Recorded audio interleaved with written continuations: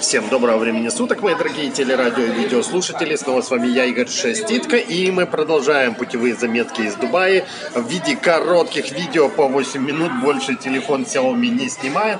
И вы видите вид с окна моего отеля, правда не моего окна, а окна где находятся завтраки, ну тут кафешки, рестораны и тому подобное, они находятся в отличие от других, э, других, скажем так, а, известных мне кафе на или отелей на не на первом этаже, а на 24-м, поэтому здесь открывается отличный вид на развязку. Это Шейх Заед Роад, плюс, я не помню, как вторая называется.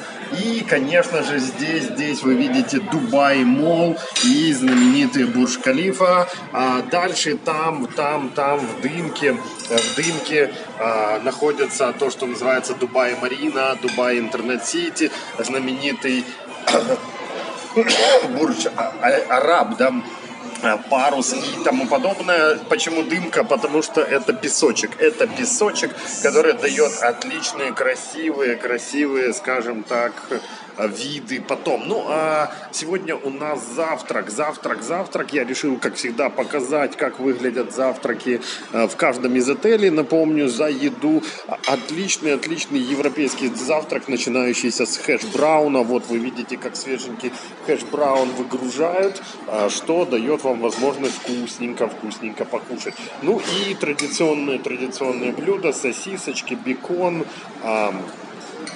бобы, а тут вот э, еще и мяско. И вот вы видите, человек себе насыпает риска. Рис очень хорошо, кстати, подходит. Непонятно, почему нет. Ну и мастерство, как говорится, не пробьешь.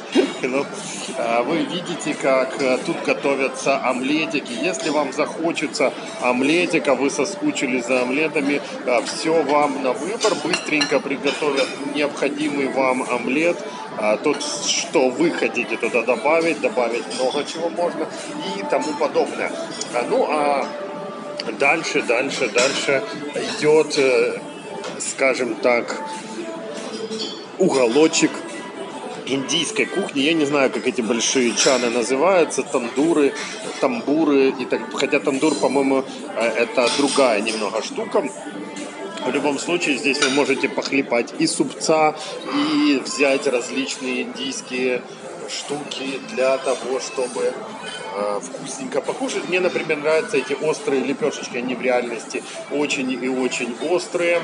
А дальше, дальше, ну тут вот э, что-то еще, какой-то vegetable curry не видно, не видно. Выглядит все очень даже аппетитно.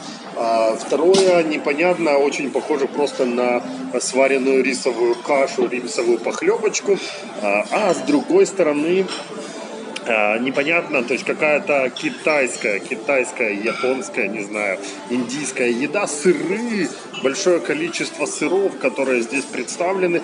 Я их попробовал, на самом деле вот этот сыр настолько соленый, что его просто даже есть невозможно, скорее всего добавка. Это а, похоже на обычную моцареллу в тех или иных вариантах, а финики, понятно, позволяют вам вкусненько покушать. Ну и супы, а, вот тоже какой-то суп, греется, вы видите. Я так его ни разу и не решился попробовать. Ну, а те же сосисочки, только в острой заливочке, а вдруг кому понравится, очень даже неплохо.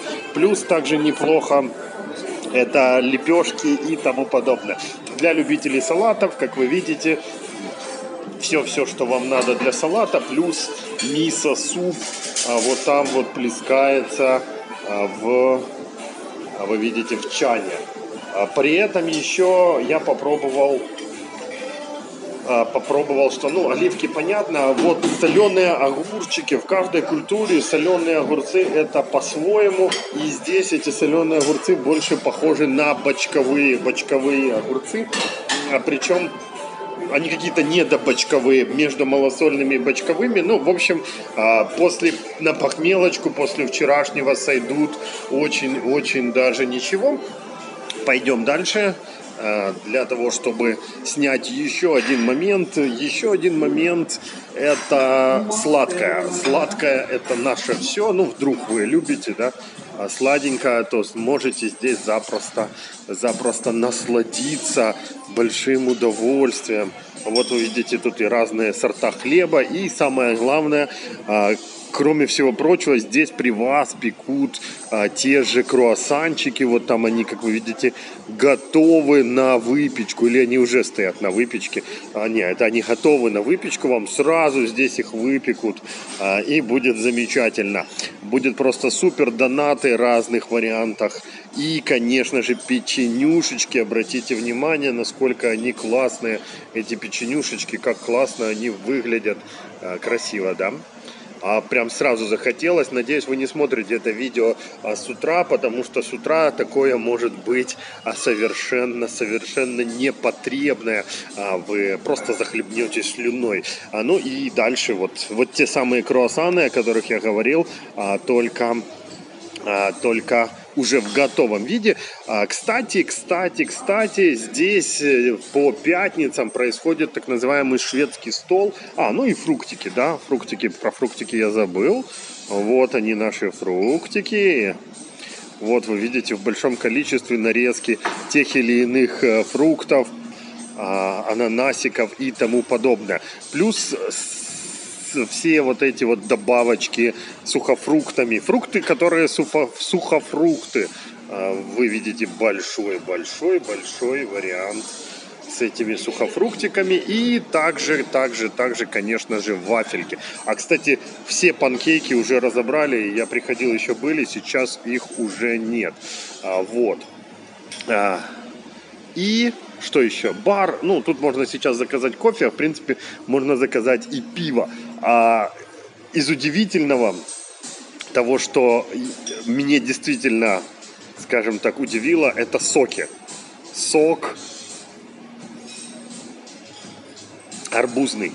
Сок арбузный, вот, обратите внимание, серьезно, красная вот эта штука. Я сначала подумал, что это грейпфрут, а потом присмотрел, налил слышу, даже запах не тот. А потом присмотрелся, а оказывается, это вотермелон из арбузов могут делать и соки. Ну, такое специфическое, конечно. Ну, в принципе, пить можно. Ну и а, понятно же, понятно же, а, вы видите воду обычную с... А чем? Да, с лимончиком и так далее. Ну и, чтобы вы понимали, это все находится внутри отеля на 24 этаже, как я говорил, Тха, э, ду, Дусит Тхани Хотел, Дубай Хотел. Вот он такой. Здесь днем еще и происходит шведский стол. Платите 50 евро, и все эти ресторанчики работают для вас. Бери, не хочу. Ну и я буду прощаться. Напомню, что с вами был я, Игорь Шеститко.